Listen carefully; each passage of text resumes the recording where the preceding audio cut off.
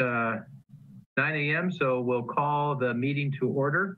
Uh, I'd like to remind everyone that um, pursuant to the governor's executive code N 2920, members of the West Sacramento Area Flood Control Agency and staff are participating in this meeting via teleconference to reduce the spread of COVID-19.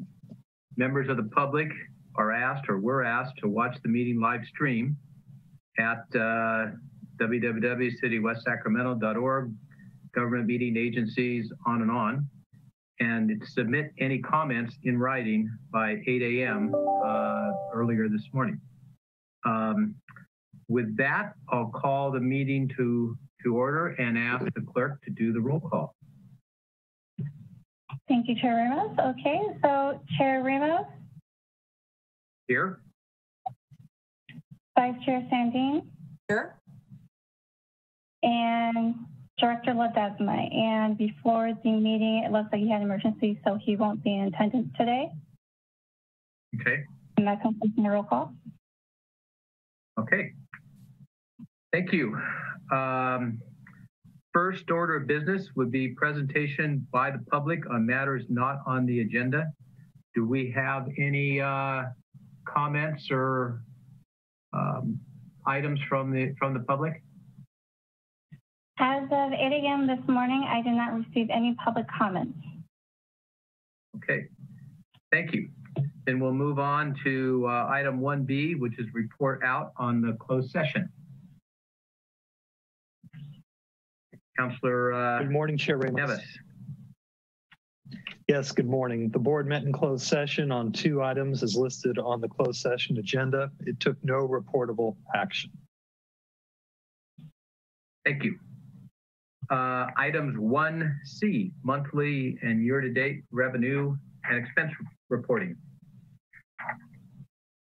Good morning, members of the board. I will be reporting out on the revenue and expenses for the month of August 2020. In Fund 870, the beginning balance was approximately 4.87 million. There's no revenue and expenditures totaled 1.87 million, making the ending cash position for Fund 870 a little shy of 3 million.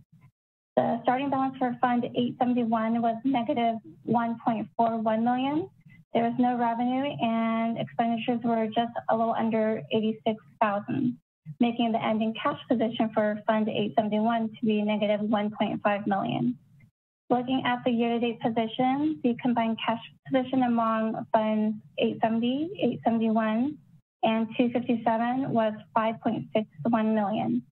As of September 28th, the agency's combined cash position was approximately 4.77 million um, 4.54 million from state cost shares, quarter 36, has been trued up up until June 30th, 2020.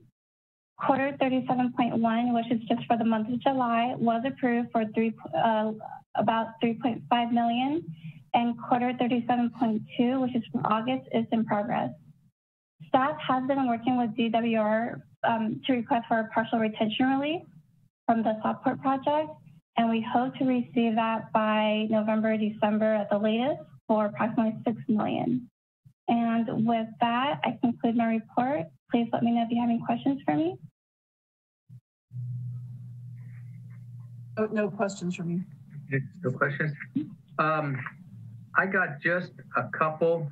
Um, the um, the July uh, items on both uh, 870, 871 shows that um, 4,300 interest other, and they show negative amounts. I assume that must have something to do with truing up from the previous year. And then likewise, the uh, the starting balances from June of last year to the beginning of this year are a little different. I assume those are both true up items again. And I'm wondering if at some point we could just have just kind of a, um, short explanation of, of what those true ups were. Yeah, so our finance is still working on closing out the fiscal, the prior fiscal year. And so right now we're still working from July 1st, 2019 up until today. And so that's why I had to kind of um, look at our balance sheets from and like that ended at the end of the fiscal year and just moved forward from that. And so that's why the numbers are a little wonky. So I had to do that in order to make sure that our ending cash position for August would match up with what we have right now. Okay. Okay, I'm sure we'll see that in the future then. Hey, Um, Tom, this is Greg. I think um, probably in November and certainly no later than December, um, we would likely be having an update from the treasurer on the closeout of the books and the true up that you're talking about. How did our projections line up with budgetary projections line up with the actual expenditures? And so we should see that probably uh, next month, again, the latest December. Okay. Thank you. Um, okay, we'll move on. Uh, item consent agenda. There's one item, which is the approval of the August 20th, 2020 minutes. Um, I looked through them and uh, I would make a motion to approve the minutes as presented. Second the motion? It's been moved and seconded. All those in favor? Aye. Aye. Motion, uh, motion, motion carries. Um, regular agenda, item three A, uh, update on the floodplain restoration project. I assume that's probably Paul. That's me. I'm gonna, um, I'm gonna endeavor to share my screen and then we'll walk you through a presentation.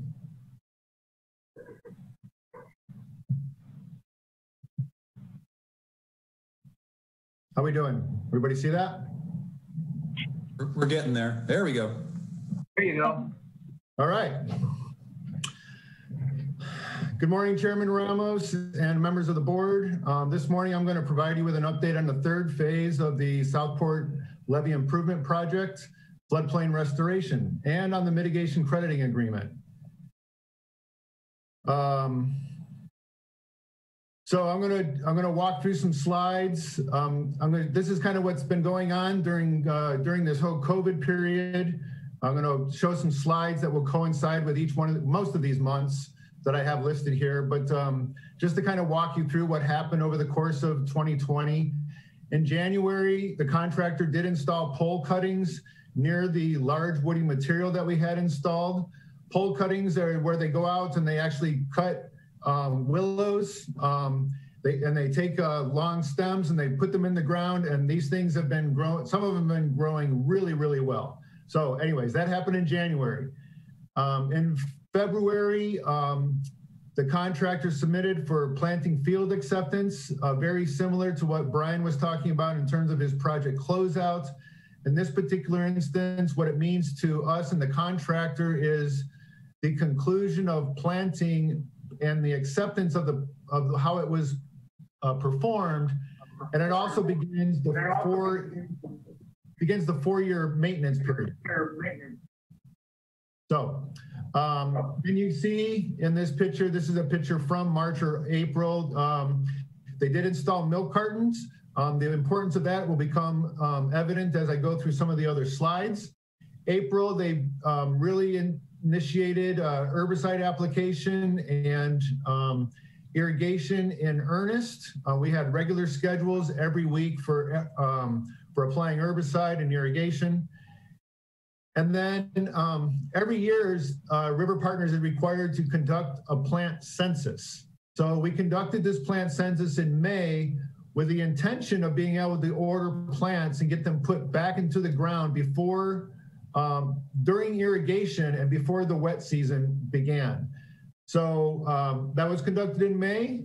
Uh, we worked out a deal between June and in July, um, they put back in the plants. Oh, by the way, during the plant census, what we counted was a loss of about 6,800 plants total.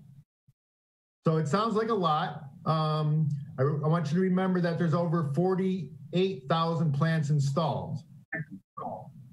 And so when we analyze that, we all the plants, we focused on what are called the center plants, provide us the greatest mitigation value. So the number of replacement plants that went is more like about 2,800, approximately half of the census. We will continue to monitor, take a census every year, and adapt to whatever we need to do to get the mitigation values that we need. All right. Um, yeah, let's go on. Let's see. Let's see how it's performing. So uh, here's a picture from March. Um, this is from the north offset area. Uh, you can see how the uh, uh, the milk cartons are installed with a stake. And in this, I'd like to just point out that you can see the uh, the weeds that are kind of growing in between the furrows and around the plants where they're getting some water. So that's March. Here we see in April, you can see how um, how green it looks. That's mostly weeds. Um, so and you can also see how they're actually applying the herbicide. So you can see this is a, a tank mounted, uh, uh, tank mounted system. And this is why the, the milk cartons are so important. It really saves the contractor a lot of time and effort to be able to do broad scale spraying of the herbicides and keep the plants that we want to live alive. Now, um, the other things I wanted to point out is that this project is not without its challenges. Um, so there has been rilling that has happened along the slopes. You can see that the, some of the plants have had some trouble where there's been yeah, where the sand is accreted. Um, so I just want to. This is these are going to be ongoing maintenance issues, things challenges that we're going to have as the project um, as the project matures. Similarly, we've had some system failures with the irrigation system.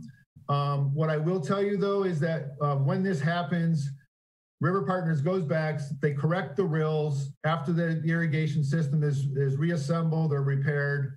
Um, and so this is, again, this is going to be a maintenance issue and the, you know, as the irrigation system needs to continue to run to keep the plant health and vigor, vigorous. All right, now let's see kind of what does it look like over time. So this was a picture from June. Again, this is the north offset area, looking at the inlet in the north offset area, just um, uh, water side of Linden Road. You can see kind of how high the, uh, the plants are generally. This is what it looks like in September. I think in this picture, you can also see that all of the work that they've been doing in terms of preparing for the uh, for grass seeding you don't see the weeds on the ground anymore. You do see the trees growing. Um, and here's kind of a relatively between September and October, there's even been more growth, very, very vibrant growth um, over the last couple of months. As, um, as soon as that hot weather settled down and the, the water kept flowing, um, the plants were really taking off. So that's the north. Now looking south, uh, you can see this is in June. Um, that really, um, that emerald green in the middle, that's the low flow channel. It's, um, it's largely made up of both invasive and planted species. And so we're working right now with the, with the contractor to talk about how we're going to deal with that, how we're going to call out some of the invasives. Um, and so we're gonna we're gonna meet on site in the next couple of in the next month or so to talk about that. But I just here's a June picture. Here's an August picture. This is taken from the shoreline. You can see all of the growth, a lot of that volunteer growth right along the shoreline. That should really, if we have a big water year, uh, if it floods up in the offset areas, we believe that that's going to really slow down that accretion. And, um, and, you know, and so it should provide the roughness that it was designed to do. Uh, we will have to deal with some, you know, we'll have to continue to deal with, like I said, these um, these spots that aren't necessarily flourishing as much as we'd like to, um, where there's a lot of sand. Okay, now switching gears. That's all the pretty pictures. Um, going on to the, the mitigation crediting agreement. So since, um, essentially since um, the pandemic started, we have been working with CDFW. Uh, we had one face-to-face -face meeting, I believe in January, um, to kind of lay out the whole scheme um, of what we're trying to achieve. So the Southport Levee Improvement Project, this floodplain restoration project is a pilot project with the Department of uh, Fish and Wildlife, the California Department of Fish and Wildlife.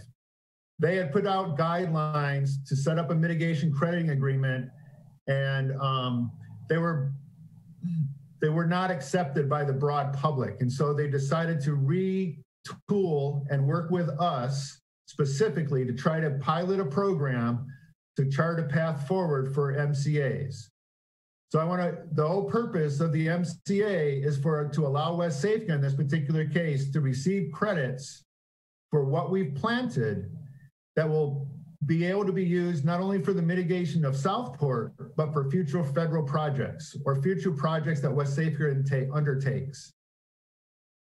So just I want to go through a few of the important elements and where we are in the development of the MCA. And I'm going to talk a little bit about the um, some of the challenges that we've had and what I hope are the ultimate outcomes. So first of all, there's a development plan. The development plan um, kind of lays out the baseline report, uh, talks about what are the credits that we might be looking for, um, how are we going to achieve those, um, and overall kind of a, an outline of how to make sure that the credits that we're trying to achieve are, are trying to get the mitigation that we're trying to get credit for, how is that going to be developed and, and maintained? Um, we have to show proof of ownership. So um, I provided grant deeds, for instance, for most of the properties that we have in the offset areas. Um, proposed credits. Uh, we've been working closely. GEI has been our principal consultant on this, and they've come up with a um, not only the proposed credits, but a credit release schedule, which I'll be talking about in a few minutes. Um, there's a long-term management plan. Now, the long-term management plan is not unique to the mitigation crediting agreement or CDFW, right? So there's a long-term management plan requirement for both our 404 and our 408 permit from the Army Corps of Engineers for the portion of Southport that is attributable to the loss that we had uh, that we incurred, the loss of environmental um, uh, requirements during Southport. So um, that has to happen. Conservation easement, again, uh, this is a requirement that's not only particular to CDFW, but also the Department of Water Resources. So we're gonna have to have that in place. A land manager, you may recall during our permitting period, before we actually started construction on the levee, we initiated a, um, a contract agreement with the Sacramento Valley Conservancy. Um, we breathed some new life back into that contract for them to help us out in coming up with um, what are the costs for the long-term maintenance, management and maintenance of the project? And what does that mean in terms of an endowment to make sure that it's funded, fully funded over the life, uh, over the total life of its uh, existence? So um, this is a fancy picture that GEI put together that shows the different um, habitat types um, and the credits that we'll be getting. Um, so we're looking for riparian forest habitat, shaded riverine aquatic habitat, uh, valley elderberry longhorn beetle, everybody's favorites, uh, waters of the US, as well as for wetlands. So um, what COVID has not made this simple. Uh, we've had many Zoom, we have Zoom meetings almost every other week.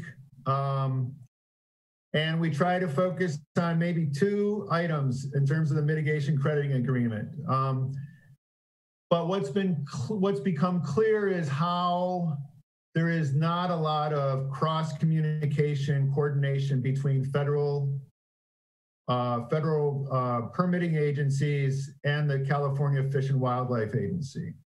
And so we are particularly trying to craft a document that recognizes the mitigation needs for all of our permits, but are segregated by whether or not they're a state entity or whether they're federal. Uh, whether it's a, a, fisheries requirement or a federal fish and game requirement, fish and wildlife requirement, sorry. Okay, um, the credit ledger and release schedule. Um, CDFW does have a lot of experience in working with banks, and um, this is kind of modeled a little bit after a bank. Um, but it's it's always an interesting conversation to have of what is it that you're planting, what is it that you're creating, how much is this, and um, and how do you actually piece the puzzles, piece piece all of the uh, put all the puzzle pieces together, uh, because the resource agency generally don't like you to think that you can get more than one credit on a piece of property. Um, that's the best way I can put it. so that's been a challenge uh, because we we generally think that there's um, there's great benefits, you know, a lot of multiple benefits coming out of the Southport restoration project. Anyway, so the proposed credit, um, the conservation easement, the conservation easement is going to be complicated by the fact that it's going to have to recognize both state and federal entities.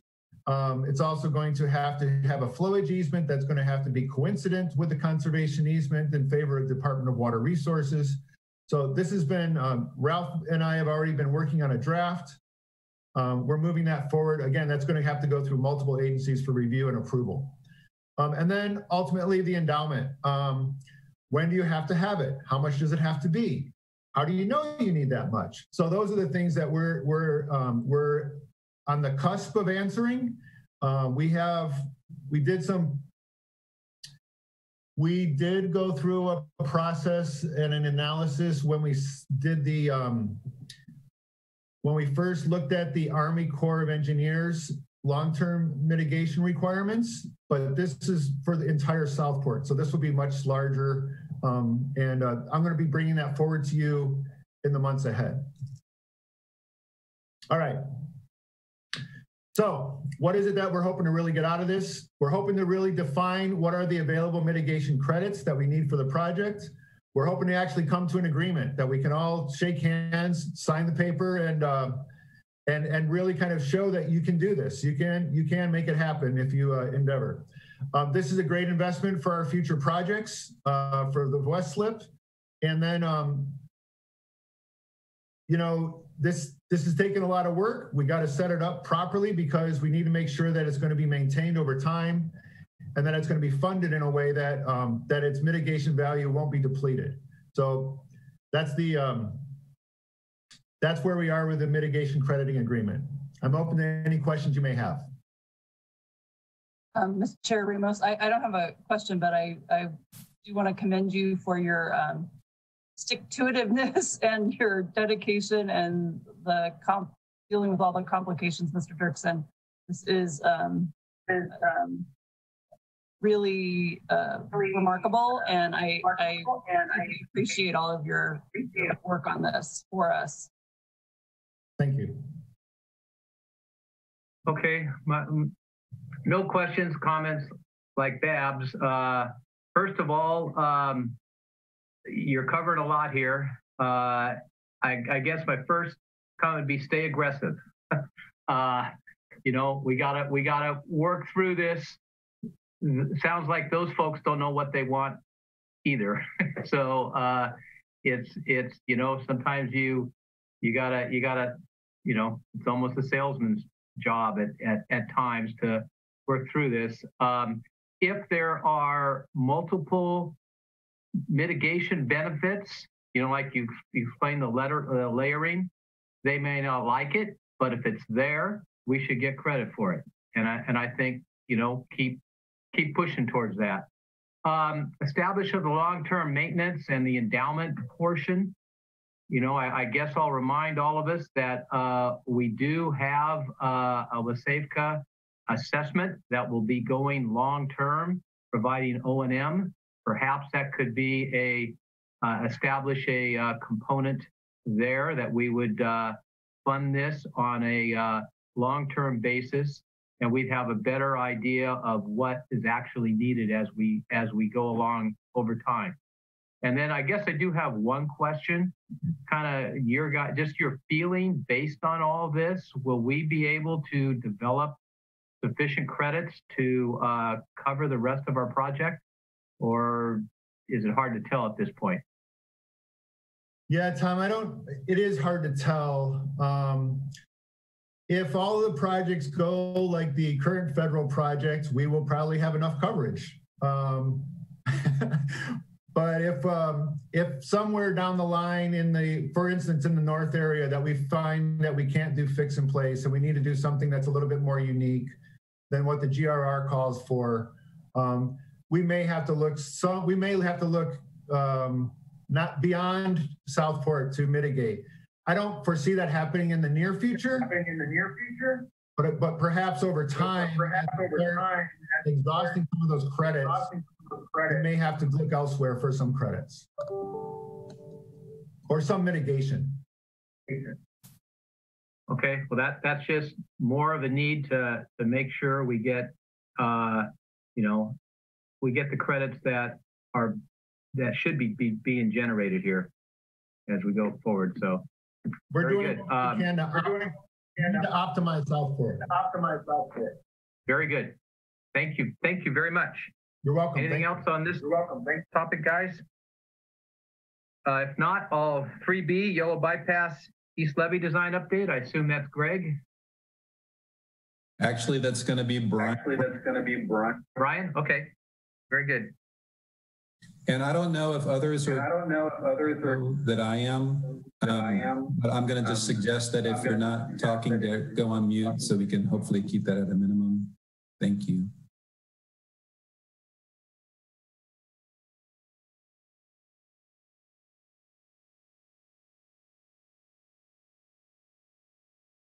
I guess then, Brian, you're up.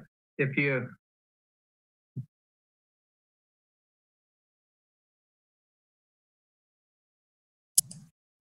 Brian, if you're talking, you're on mute.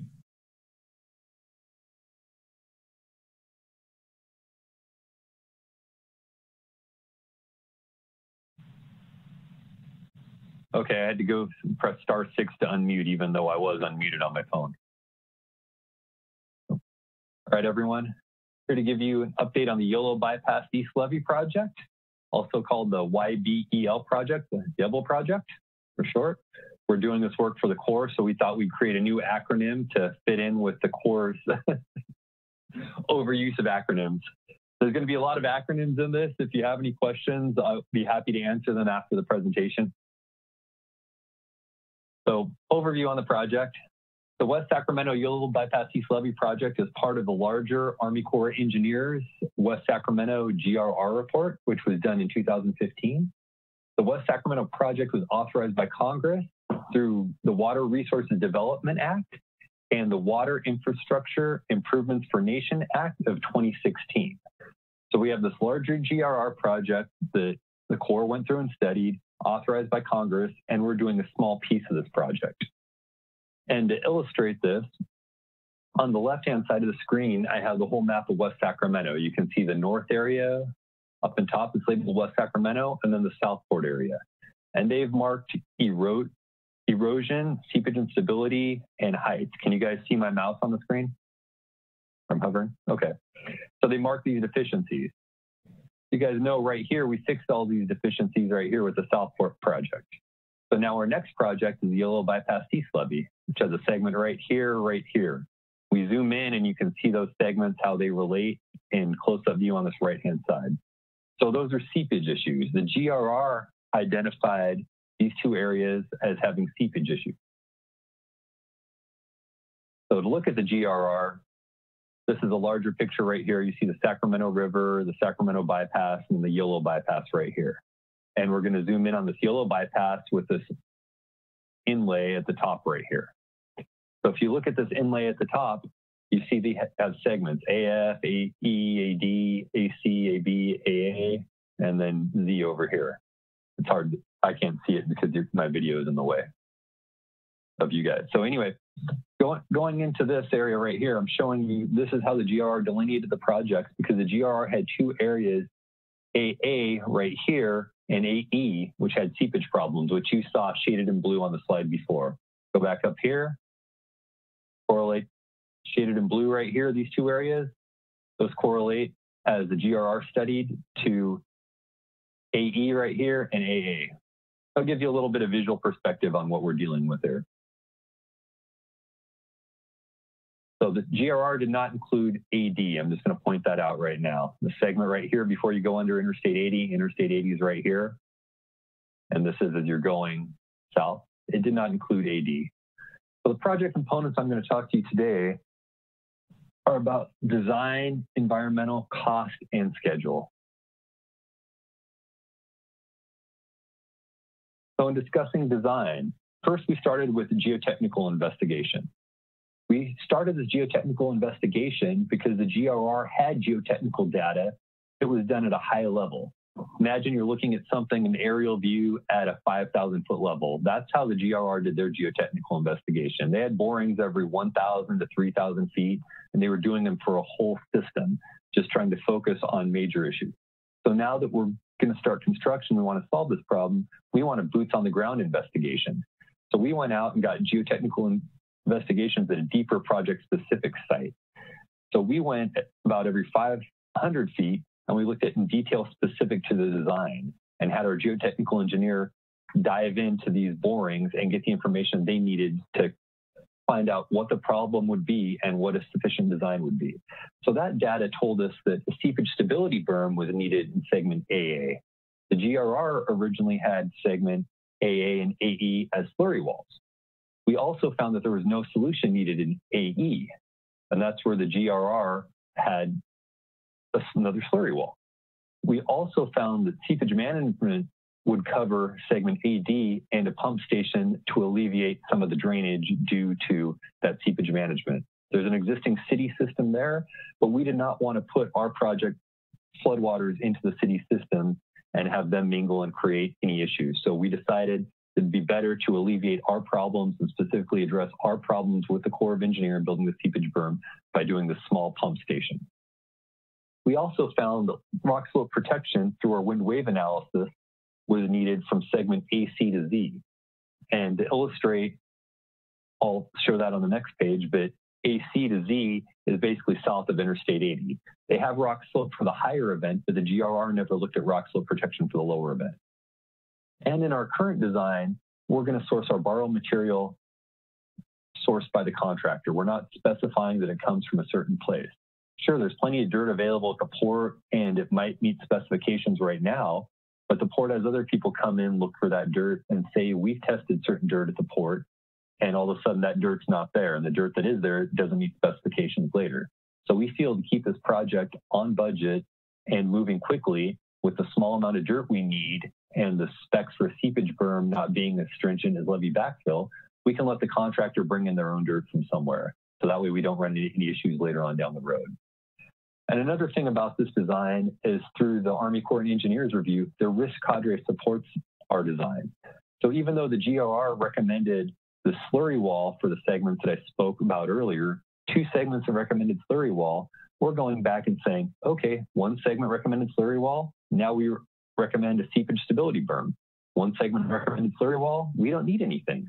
But the segment you guys didn't recommend anything, we need seepage management in there. So we're coming up with a different design based on our detailed analysis. And the USA Risk Cadre, through their review, is supporting this design. So we're getting buy-off from the Corps on our efforts. So now to illustrate that last slide for you.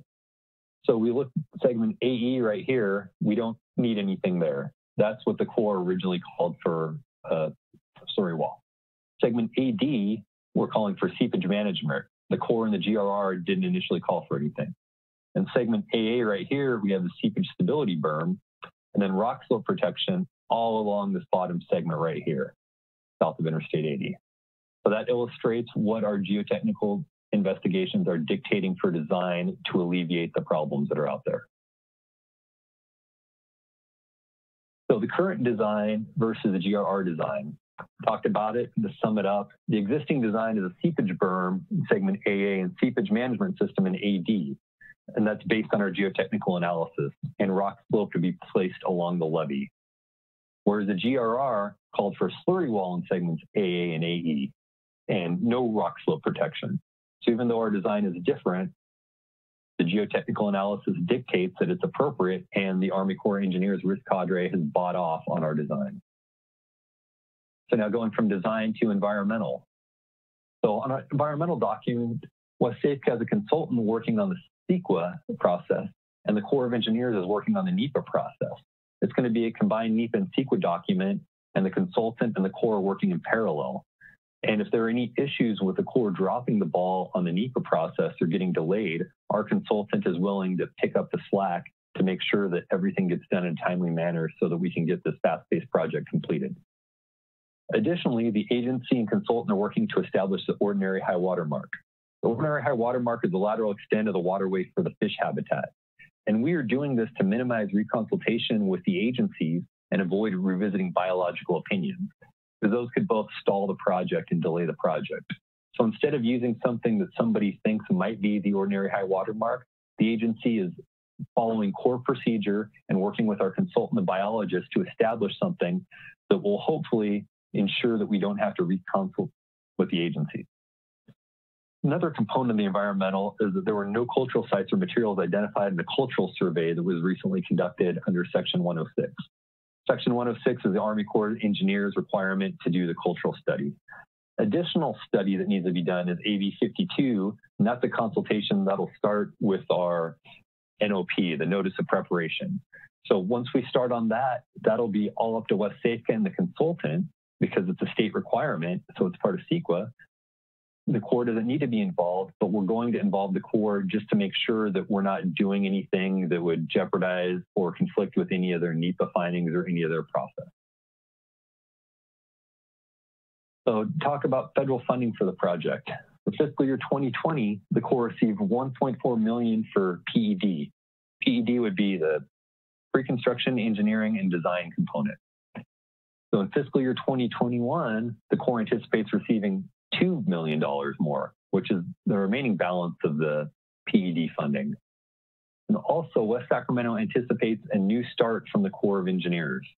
New start for the project that has already been authorized but hasn't received the full funding. So we're anticipating that we're going to receive one of those next year. And that would include 18.9 million in construction funding in the 2021 work plan and the official new start designation in the 2021 work plan.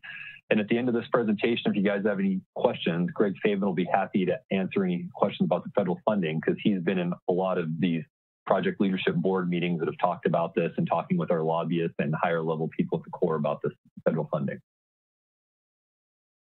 So to go into our project cost that we have right now, based on our 65% design, granted the project cost can change as we go to 95%, but this gives you an order of magnitude it's not going to change by an order of magnitude. It'll change a little bit, but not much.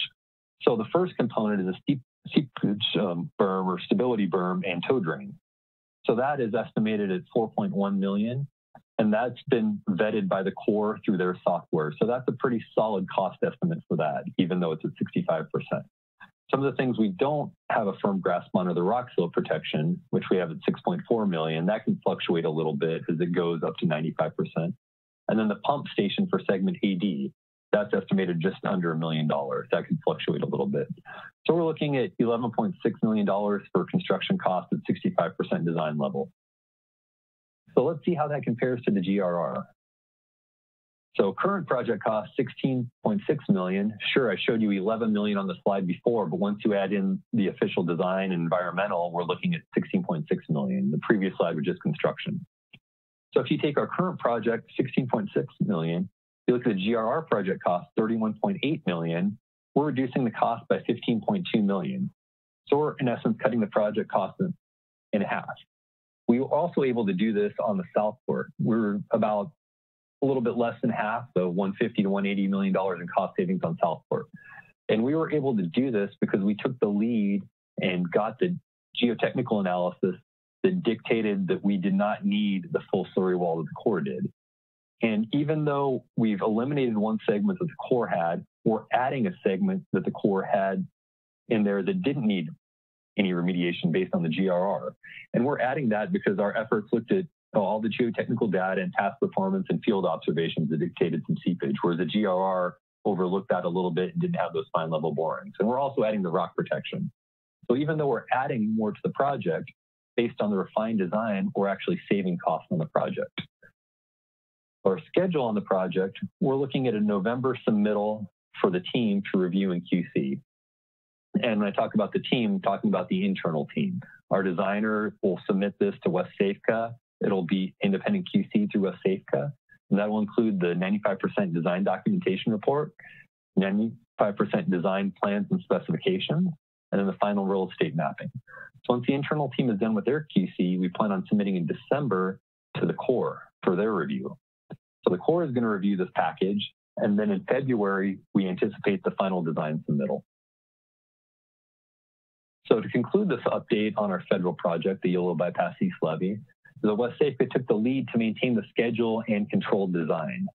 So this was a fast-paced project, and we're looking to get this started. So by us taking the lead, contracting out with the design engineer, we're able to make sure that it's on schedule. The Corps is quite busy right now, and we want to make sure that this project proceeds and doesn't get shoved to the back burner with some of the other projects and issues that the Corps is dealing with right now. And we were also able to control design, as you saw. We got the detailed data, looked at it, and found out that we didn't need to do the exact design that the Corps needed. We were able to do a design that's going to provide the same level of protection, but it's not going to cost as much. So now we're just waiting for a federal appropriation. And West Sacramento anticipates a new start for next year, and construction is planned in 2021 with a June or July start date, assuming that we receive the new start in the federal appropriation. So that concludes my update. Does anybody have any questions, or does Greg want to chime in a little bit more on the federal funding to inform the board? Uh, I don't really feel the need to chime in. I think you covered the, the bases well, but I certainly would be happy to answer any questions the board has if you have, if you have them.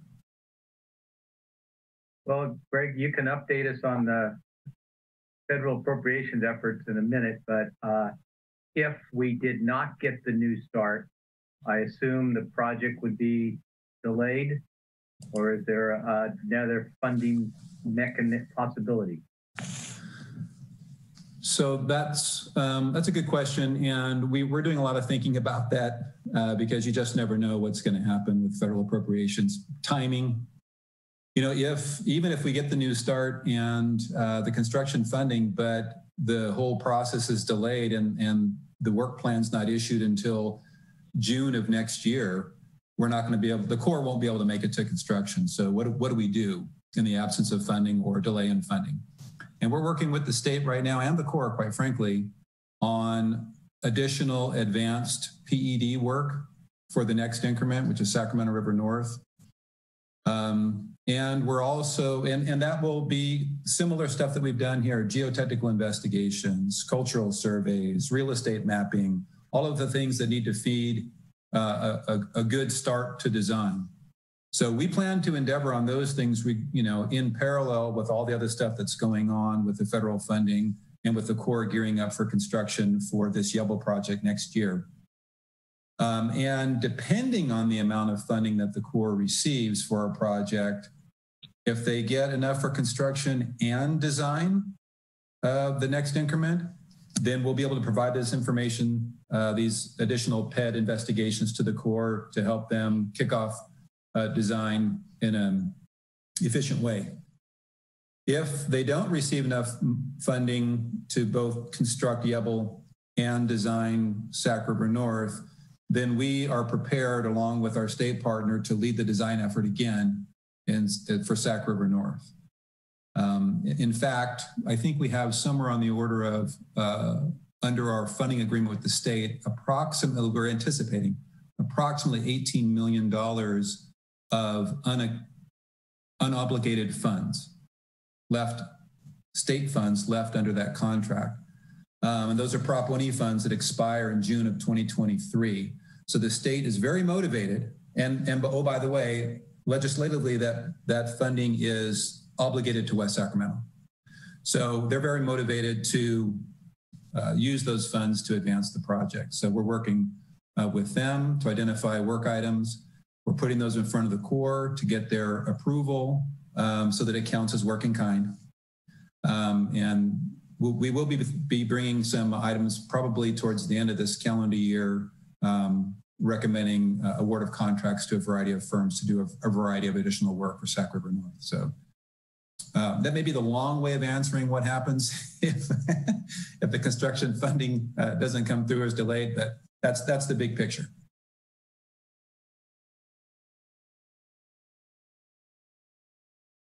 Brian, I, I have just one question on the on the this project. Um, you mentioned that that section AA is now going to have um, stability and seepage berm. Uh, do we have sufficient uh, real estate there to uh, to build that along that stretch, or is there going to be a require some uh, uh, acquisitions? It looks like we have sufficient real estate to build it. right now. Mark, Mark Zolo is working on the real estate, and right now it looks like we have sufficient real estate to build it right now. And the courtyard is going to go in by AD, and we're going to use that as a staging area, so we won't need any additional real estate acquisition for staging. Sorry, the City of West Sacramento new courtyard, to be specific. Yeah, I'll, I'll chime in real quick. Um, big picture, it doesn't look, look like we're going to need to acquire any real estate for this project with the exception of temporary construction easements. The seepage berm slash stability berm in segment AA, uh, I think the board will recall on previous updates that one of the reasons why the design is a little bit delayed um, is we had to go through this iteration with the Corps uh, to keep reanalyzing the seepage characteristics in segment AA. Again, the GRR called for um, slurry wall. And quite frankly, our initial um, geotechnical investigation showed that we didn't even need a seepage berm. We just needed a, a small stability berm. The Corps was very concerned um, that the analysis may not be robust enough there. So we went through several iterations and the seepage characteristics kept passing. And so we'd go through another round with the Corps where they they would uh, require us to analyze it with different, more conservative assumptions, assumptions that quite frankly didn't match the conditions that we had um, evaluated out there through the borings. Um, and so they actually created a situation where it finally failed the exit gradients, but they sort of had to manufacture that. They also, what we also during that analysis found that the size of the stability berm that we were recommending also then solved for the manufactured seepage. So normally a seepage berm requirement is four times the levee height. So it would have to be a minimum of 80 feet that would have caused a problem with real estate. But because our berm width of 20 to 25 feet, don't quote me, um, stability berm width actually solved the manufactured seepage problem where uh, the Corps is approving deviation from their standard uh, to not have to do the minimum 80 foot uh, seepage berm. So we have this combination of a 20 to 30 foot seepage and stability berm that lies within existing real estate. So we're good to go.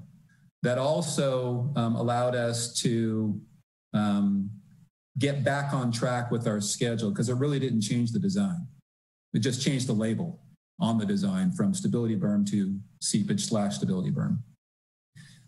Our geotech firm did have to do um, a lot of additional, uh, or include a lot of additional analysis in their geotechnical basis of design report um, but the design itself now has not changed. So we're able to, initially, it was pushing the schedule out to a final deliverable in March, which is starting to make everybody nervous about then being able to make a construction schedule in 21. So now we're back to beginning of February um, and things are, are back on track and looking good. Very good. That's good, good answer. A lot of work to come up with the same same conclusion, but uh, you wonder uh, what the Corps' uh, analysis would have been if they were doing the work. Yeah, and you know, Brian pointed out that you know one of the you know I think we're lucky in a lot of respects with this project, just the way things have unfolded, where it allowed WSAFCA to lead the design effort. You know, the primary reason being Corps did not have enough funding in 2020 in order to complete design. Uh, so, hey, WSAFCA, can you lead? Yes, we can. Well, we're not stuck in limbo land and over analysis and reanalysis like the Corps tends to do. And so, um, and I'm not saying that we're pushy, but we're methodical. Um, we do the investigations that supports the analysis, that supports the conclusions, and we present those to the Corps. And we stay on top of it and we push them to review and comment and be decisive in their comments. So, and we remind them that hey, we got to get this to construction next year. You know, the viability of this project depends on it.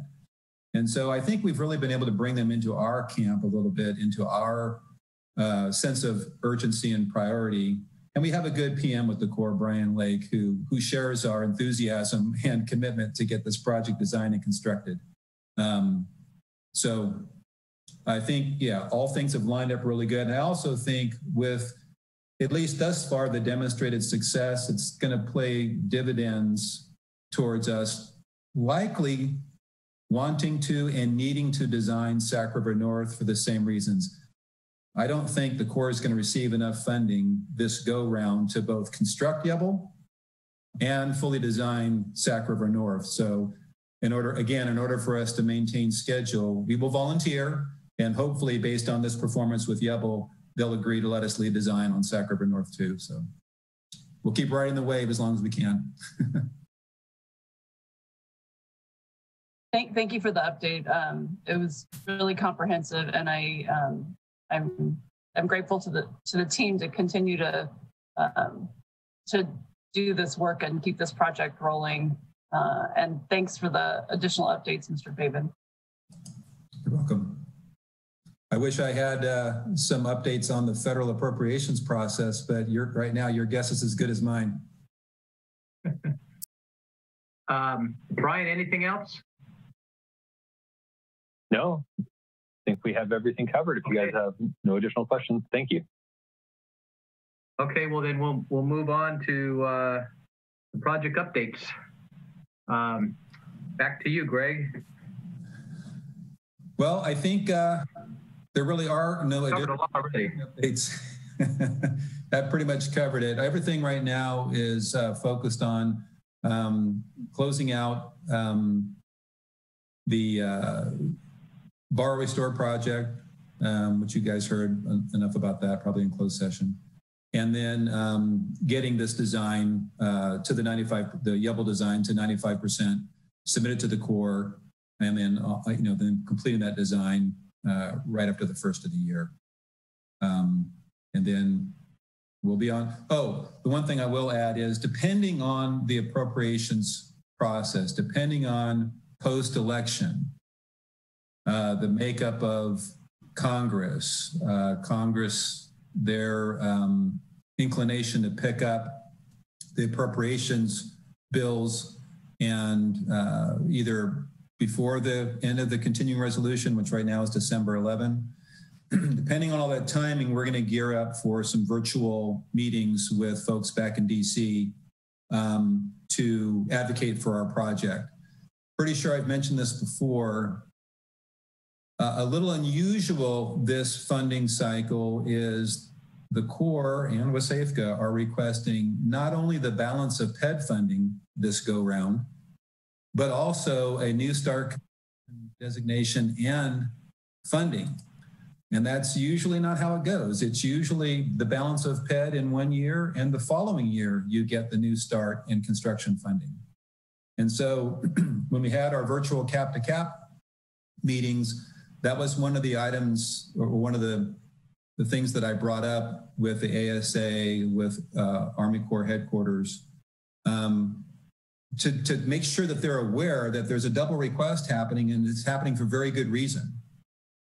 And we're leading design. Yeah, the Corps didn't receive all of their PED funding, but the non-federal sponsor has been able to carry that ball for the, the collective team, for the Corps. So we will be ready to construct next year. And so that's why it's so important that both requests go through. And so we want to make sure that they're aware of that at the time they're making those decisions.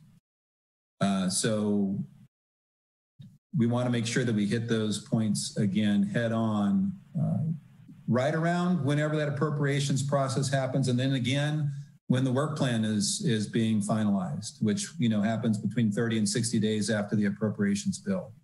So at least one set of meetings around appropriations time and maybe another set of meetings uh, during the work plan development and submittal.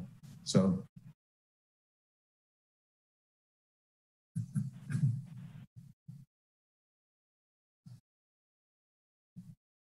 Okay. Um, if that concludes your report, I think we're down to uh, director's comments. Babs, you have anything? Uh, nothing today, uh, thank you. Okay, and likewise here. So, hey, Tom, um, before before you adjourn, I just want yeah. to ask a question, if I could. Um, Babs, uh, will will you be attending the meeting in November? Uh, yes. Okay. Uh, That was my question. Thank you. Thanks The- for the the easy, thanks for the easy question, Greg. The, the new terms start when? December? Yeah, okay. Okay, well, we can have a going away party, some virtual cake or something like that. I don't know, we'll figure it out. Okay, with that, we're adjourned. Thank you, everyone. See you next month. Yep, Thank you. Bye. Thank you. Bye, everybody.